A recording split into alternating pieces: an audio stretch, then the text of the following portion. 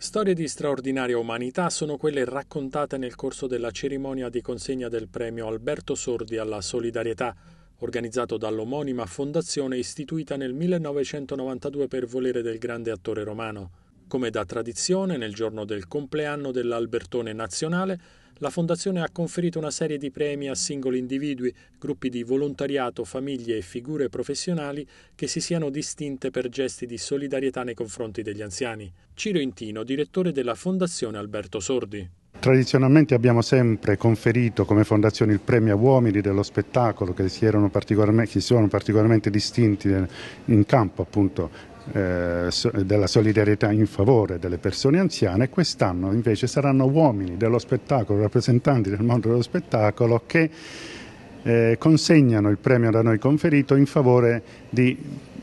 persone normali che vivono la loro esperienza di vita quotidiana, eh, gruppi di persone, associazioni, ovvero anche professionisti che si sono particolarmente distinti con iniziative concrete di aiuto a persone anziane. Nel corso della serata uno dei momenti più toccanti è stato il ricordo di Fabrizio Frizzi, un sostenitore della fondazione e soprattutto un amico di Alberto Sordi. Ancora Ciro Intino. Una menzione speciale doverosa da parte nostra, doverosa perché Fabrizio Frizzi ci ha sempre aiutato, accompagnato nella eh, conduzione proprio a lui che conduceva questi nostri eventi eh, negli ultimi anni. Ricordo l'anno scorso eh, conferimmo anche un premio per, al sindaco di Amatrice per l'evento del terremoto, è servito concretamente a finanziare le spese per, in favore dei terremotati di Amatrice. E ricordo una conferenza stampa con Fabrizio Frizzi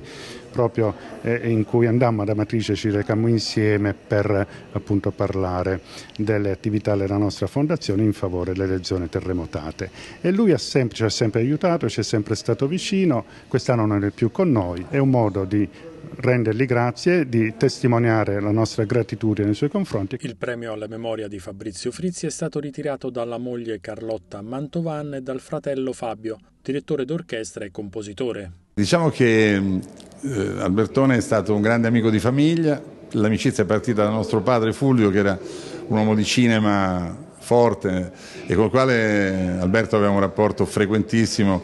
sono nati tanti film, cito un borghese piccolo piccolo, è nato a casa nostra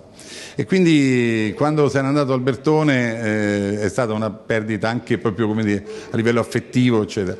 Fabrizio aveva un grande potenziale di comunicazione ed è stato felice di metterlo da, da subito al servizio eh, di, questa, di, questa, bella realtà. E quindi diciamo oggi siamo un po' qui per ricordarlo,